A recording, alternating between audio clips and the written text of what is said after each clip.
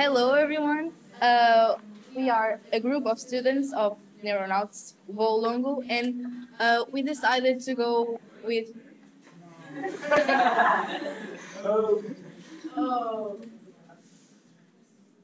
Um, okay, so how uh, I was saying previously, our group decided to study how do we behave under stress. But stress is something that all of us have felt in one point of our lives or another. And sometimes it might confuse us what it is, what effects it has on us, and what are the best strategies to cope with it. Uh, but we want to explain it and explore what really is stress. And after understanding that, we want to know what are coping mechanisms that might be term, a term not everyone has listened to before, and we also conducted a practical experiment to help uh, and support our data and our hypothesis. So first of all, stress is, putting it simply, a physical and psychological reaction of our bodies to situa situations that seem unmanageable or that create like a shock to us because they are new or they're frightening. And in a way, stress is beneficial to us. It has been with humans ever since uh, we, we exist and it, it was meant to help us survive. But nowadays, stress can reach points that it is not healthy and sometimes it gets really hard to deal with it. And we want to go further on that topic too. So now that we understand what stress is, we want to know how the cycle of stress works and it's quite simple and it explains what stress does to us. First of all, that is, there needs to be a stressor. That's it's kind of an intuitive word, but it's the cause of stress, and it might vary a lot from person to person, and it does not need to look the same for everyone. Then there is our reaction to that stressor that might be physical, psychological, or both. And then wear and tear would approach to an Portuguese uh, expression that would be empreendedora, tanto lado até cura. Because uh, over time, dealing with stress, uh, we get worn out and we get burnout and we are more sensitive. That's what increased sensitivity is referring to, to the other stressors or even the same stressor. And this whole cycle continues. And if it keeps going for long enough, we might get like seriously burned out. So this is the stress cycle. And one thing that are that is really important are coping mechanisms that um, are ways we find to deal with stress. They also, like stressors, they do not look the same for everyone. And they are different from defense mechanisms because these these ones are voluntary and they we we have initiative to go for them. Um, and they, they might be listening to music, they might be reading, they might be meeting a friend and talking about our problems. We're also very different. And we also wanted to study whether it varied from adults that we describe as people over 25 or young adults and teenagers that would be people under 25 or 25. So our study questions would be how does stress make us feel like and all of that. But our actual questions we wanted to follow um, uh, oh, conduct our study to answer were what are the main symptoms when we get stressed? Uh, and what are the most common, common coping mechanisms for stress? And if it varied from the, these two group ages just described, and also how does stress, how does stress affect our capability to do a specific task? So.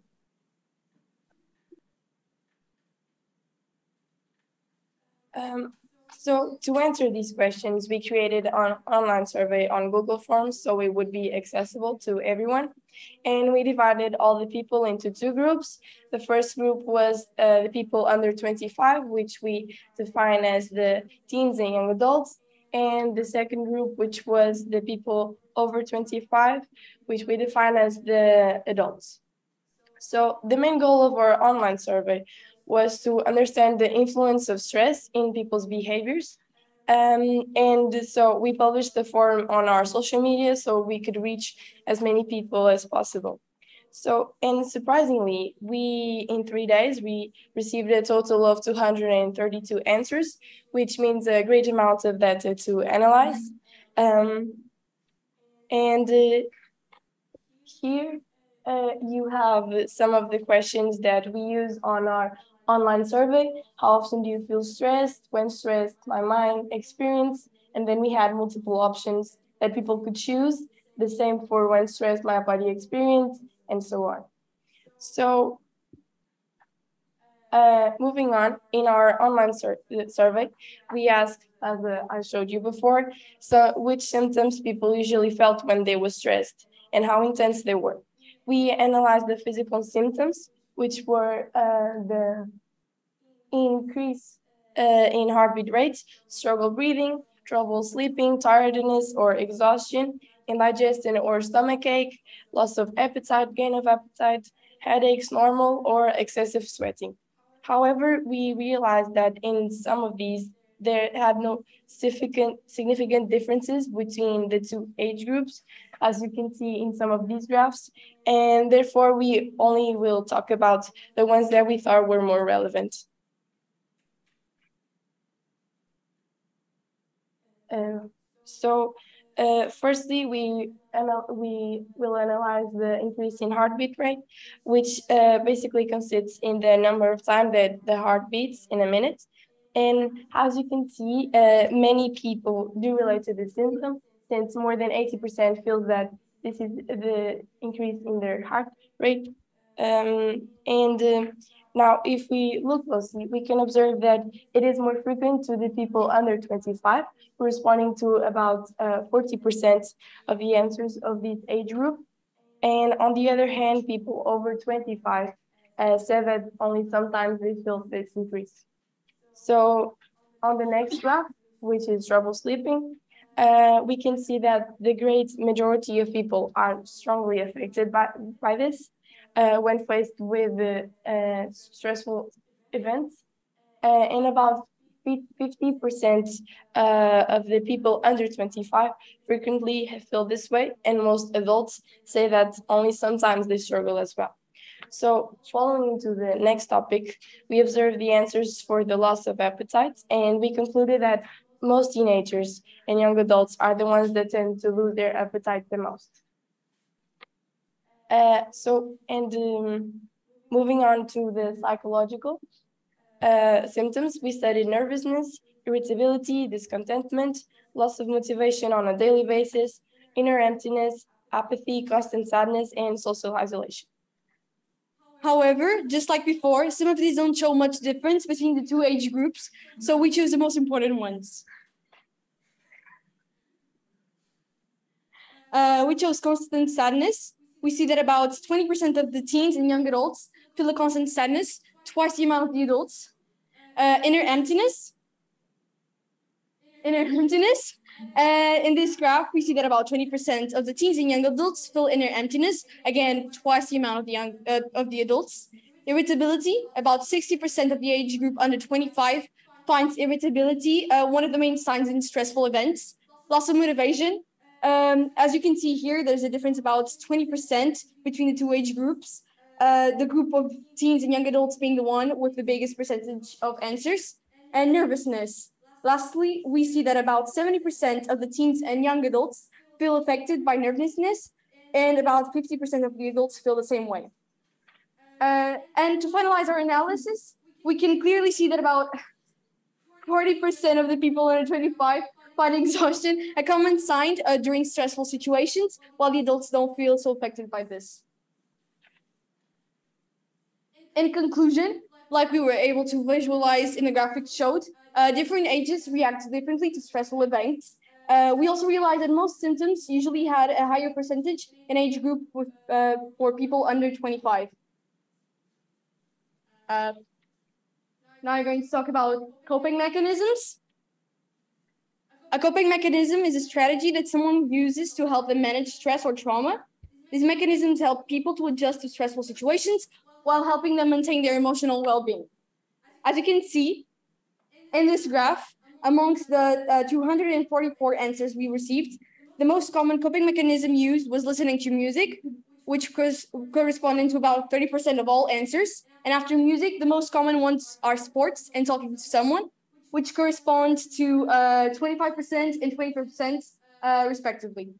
After analyzing the most common coping mechanisms of all, amongst all answers, we decided to investigate the difference between the preference of people under 25 versus the people above 25. Uh, we concluded we concluded that sports, talking to someone, and especially listening to music were the most common coping mechanisms among the two age groups. The young adults, however, prefer talking to someone over doing sports, while the adults favor the opposites.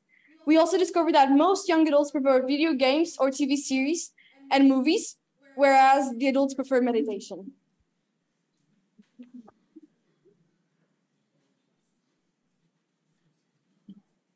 So now we're going to the our goal with our practical experiment, which was to answer our second question, which is discover if stress has an impact on people's skill to on people's performance skills in completing tasks.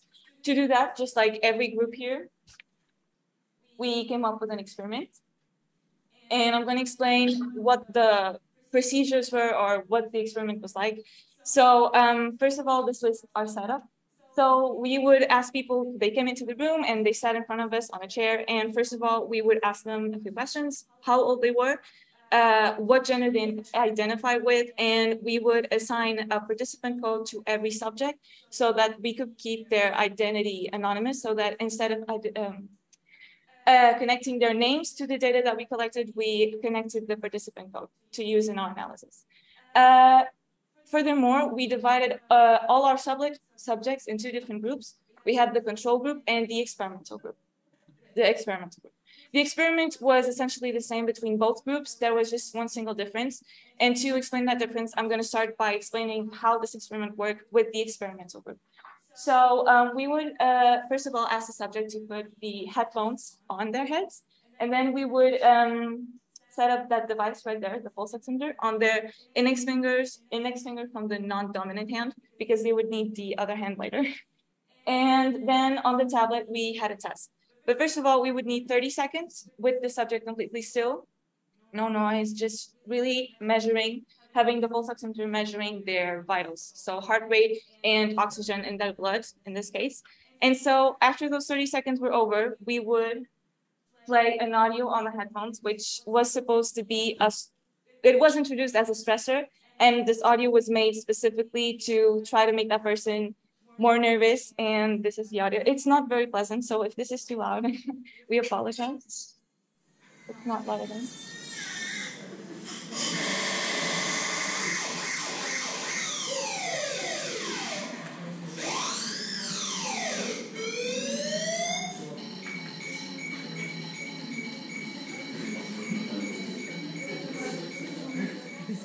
Yeah, so basically this is a mix-up of various uh, annoying and stressful sounds. And we would play this on the headphones rather loudly. and the subjects would have to listen to this for 30 seconds, staying still, still measuring their vitals to see how the heart rate increases just with the noise. And then after these 30 seconds, would we would hand them the tablet. And on the tablet, we would have a Google Forms with a test. That task consisted of 10 questions. Uh, all the questions were uh, related to math, but they were rather simple questions. Uh, questions we would say like a fifth grader could answer them. They're a little like, you need to think, but they're not too complicated. And overall, the goal, it was to the subject to answer these questions as fast as possible and submit the form as soon as they're over. Uh, the, we put a limit of two minutes some people reached the two minutes, other people could finish in under a minute, which was really impressive, actually. We were not expecting it. And uh, of course, it varied from person to person. Now, our question was, did the stressor that we introduced make any difference? In the control in the control group, the experiment was exactly the same, except that instead of introducing the noise in the second 30 seconds, we just let the person be with no noise for 60 seconds and including in the task, they didn't have any noise. So they could focus solely on what they were doing and without having the stressor introduced. Now, um, is going to present you what, what results we had from this experiment.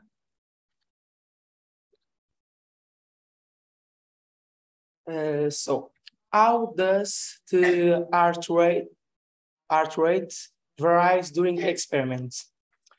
To answer to this simple uh, question, first we um, we compare if two two age groups um, are affected by the noise.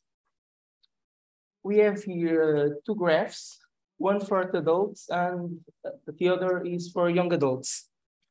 I know that uh, the graphs are very cute, but uh, let's under, uh, let's begin to understand um, what I mean. The red line represents the introduction on to, to the, sorry, the introduction of the sound in the experimental group. And the green light represents the, the beginning of the task. Uh, on the adults, the noise did not didn't affect their their rate. Instead, what stressed them was the task itself. On the other hand, young adults uh, are affected by the noise. However, the task is the real stressor factor.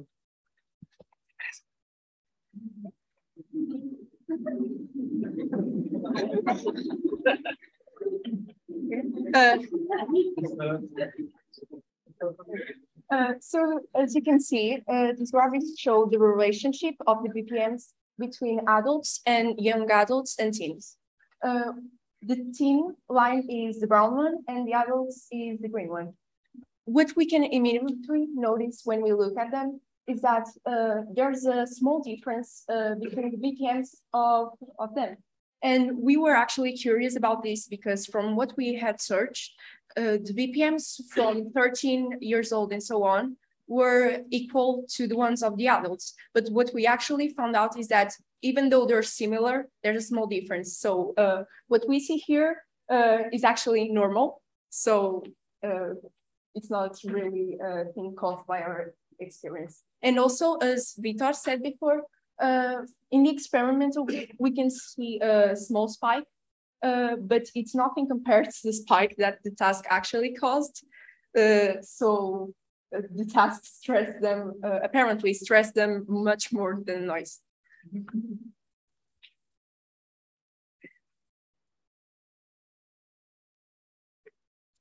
Uh, so, in which way can the time be related to the score of the task? As you can see on these two first plots, uh, the gradient is negative. It means that the test scores tend to decrease over time. So, the lowest scores are related to the people who spend more time doing the task.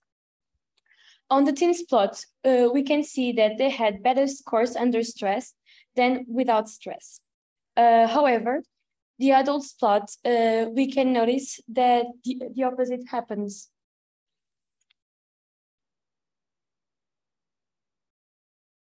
Okay. Uh, so about the control plot, um, we have noticed that the gradient of under 25 years old is steeper than the gradient of over 25. It means that uh, the influence of time is stronger uh, on the under 25 than on the over 25. And in the experimental uh, graph, uh, this influence of time is even stronger uh, on the under 25 uh, than the over 25.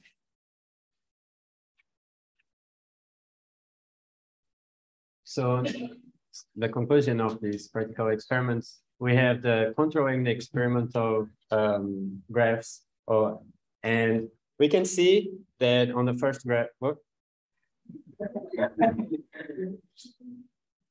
that um, the control uh, group had uh, more. Oh. um, they spent more time doing the task than the experimental and the uh, okay it's so okay and in the second graph we can see some differences uh that the control group and uh, the, basically it's the opposite so yeah Uh,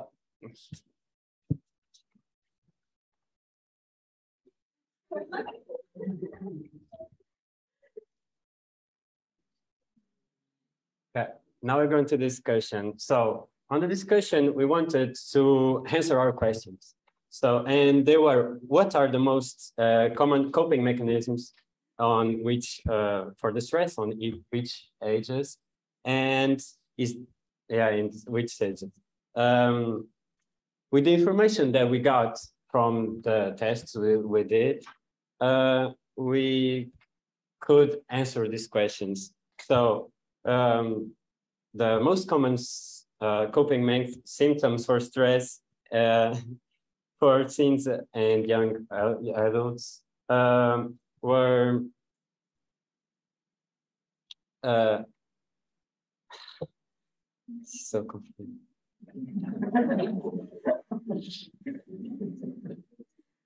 Yeah. This, this, um, oh my God. So yeah, the young adults had more trouble sleeping and uh, they reported many, in the report, no, ah, normally they report more irritability and yeah, all that on the, the daily of the, their daily. Uh, and the most coping, the most common coping mechanisms uh, for both groups were uh, listening to music, which is very interesting with the group, the, our friends group. We could see uh, many things. But for teenagers, the um, most preferred co- coping mechanisms were talking to a friend or something. And on the adults, it was to do sports, like physical training and yeah. Uh, so uh, now we must answer our second question, uh, which was how does stress affect our capabil capability to do a specific task? Uh, in our experiments, we were able to see that stress did affect our ability to accomplish a certain task. Um, we found that most adult, adults and youngers get stressed with the noise. However, they get stressed, they get really stressed with the task itself. Uh, some people were able to do the task faster than others, uh, which means that they probably work better under stress. Although our results from the tasks uh, show that teens and young adults um, dealt better with stress in the exact moment. Uh, however, the results from our online survey uh, showed us that uh, adults tend to deal better uh, with stress in long term. This is a very crucial um, topic that, in our opinion, could be more explored. But with the time that was given to us, we did the best we could. So, thank you for your time.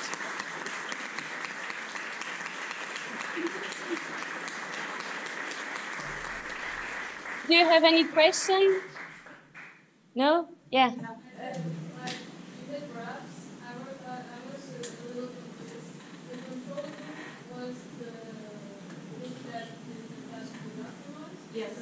Yeah. So, anyone has another question? Okay, great. So, Just before we finish, we want to thank everyone. And we want to give a special thanks to Danbee for being a great teacher. You made me want to wake up early to go to your morning stretches. we want to thank also Paco for helping us with our codes. And we want to especially thank Bia and Andre because you were really, really, really, really the best TAs. Bia, you drove us around just so we can do our experiment. Andrea, you set up so late to do the hard codes. So thank you so much. And that's why we have something for you actually. So uh, here.